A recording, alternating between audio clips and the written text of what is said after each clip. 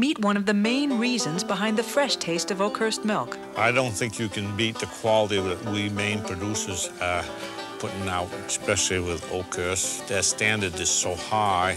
Well, I don't know how much fresher it can be. When it leaves the farm and an hour later it's in the Oakhurst plant and they put it right through processing right into their cartons. That's what makes the difference. Oakhurst milk is really the natural goodness of Maine. Natural goodness from local farms. The main reason to choose Oakhurst.